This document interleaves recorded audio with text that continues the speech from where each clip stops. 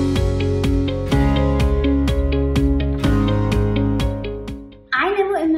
I would be debating and uh, talking on a podium someday, but the mentors are really very friendly and fun loving. They have guided us in each and every stuff and uh, have provided us with every information on prior cryovases. So that's where it comes. Uh, for, so that's where we talk about the great responsibility part, and uh, we were able to prepare our position paper very perfectly, and they have been taking part in every single thing that we did.